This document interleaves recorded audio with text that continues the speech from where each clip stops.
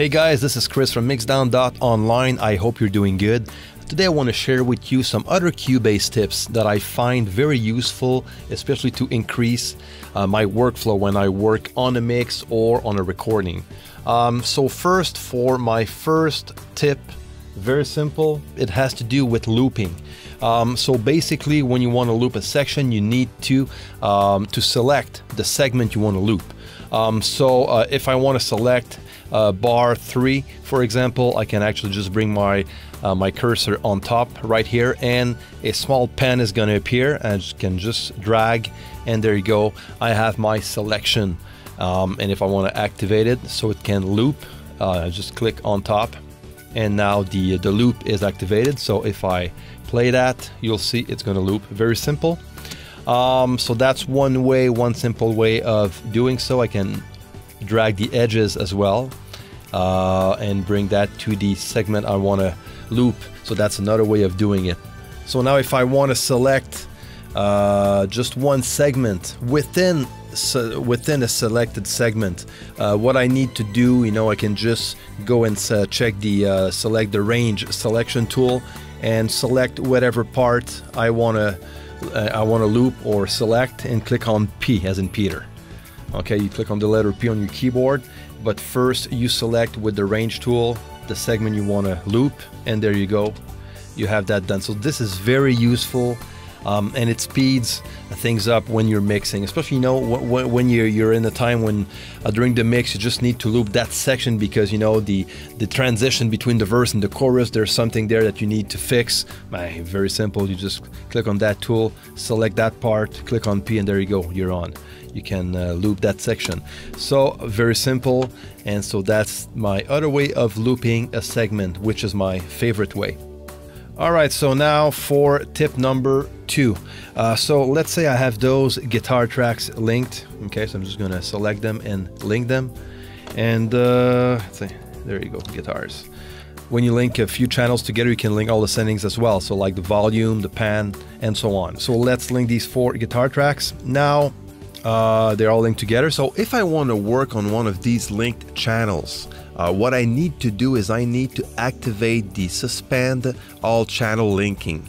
Uh, so you can just click on top here if you want to suspend these or you can click on alt on your uh, on your keyboard and leave your finger on alt actually and this will uh, suspend all linking channels. So you, will be able to uh, to work on uh, a single channel that is already linked which is pretty cool. Now for tip number three let's look at the uh, channel strip. Uh, now, if on the mix console you don't see the channel strip, click on the racks and select channel strip and you'll see it directly on the console. Uh, so these are pretty cool. There are different kind of effects that are included in Cubase that you can select and activate as needed. So uh, if I want to edit that, my favorite way of doing it is to go into the channel settings. And um, so I have access to the channel strip right there. So to activate one, uh, one plugin, just click on it and if I select them all they're all active on that channel. Uh, now the way Cubase is configured is you have the inserts that comes before the strip. So everything that you insert in uh, in the inserts all the plugins are to go before it hits the channel strip. So if you want to turn that around just click on the move channel strip to pre-insert button right here and this way your strip channel in this case right now goes before uh, it hits the inserts. So again that could be very very useful depending on what you want to do and depending if you're using the channel strip or not. But I would suggest you to try it out. It's pretty cool. And in the channel strip you can also move uh, the units. Um, so you don't need to keep the original order. So for example if I want to have the de-esser on top I just bring it on top. That simple if I want to do tape saturation on top. Very simple, you just drag it down or up and it changes the order. So this is pretty cool.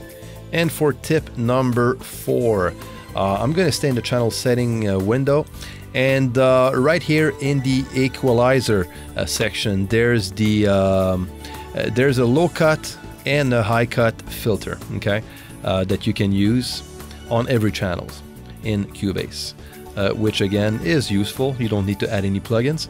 You can actually change the slope right here by right clicking on the, uh, the low cut filter or high cut filter and just go on the filter slope option right here and select the slope that you want. Very simple. Now for tip number five. Let's stay in the channel settings and go in the sends uh, option. So um, I'm just gonna select destinations and I am gonna send uh, the signal to a reverb, activate that, and now my signal is sent to the reverb. Uh, and that reverb is in a stereo effects channel. Um, so basically, if I click on the tab here, the panning tab, the uh, you can pan your effects, your send signal. Um, so if you click right here on the small arrow, you can actually link the panners, okay? Which means that uh, whatever you do with your main pan, audio pan, uh, is going to affect the send panner as well, okay? So they're both linked together. And if you don't want that options, just make sure it's not linked because if you keep it linked, uh, what's going to happen if you move your uh, send panner and afterwards you decide to move your audio panning, they're to get linked again. Okay, so if you want to have them independent from each other, make sure the link panners is not selected. And now for tip number six. All right, let's talk about automation.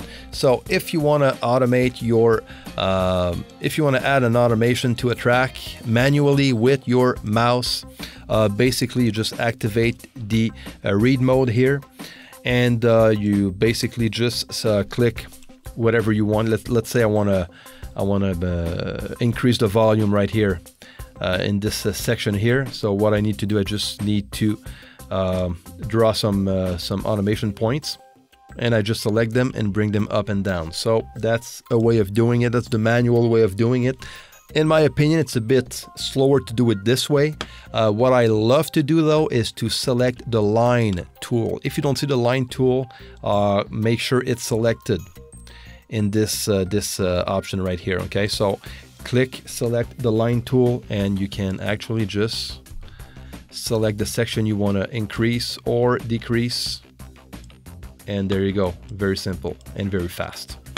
And it's going to create all automation points um, automatically. So or you can basically just draw uh, draw your automation points basically okay that's another way of doing it but the uh, the line tool I just, I just like it because you know most of the time when I when I want to just increase the vocals or the guitar on only one part or a few bars, I just select these bars and there you go, it's done.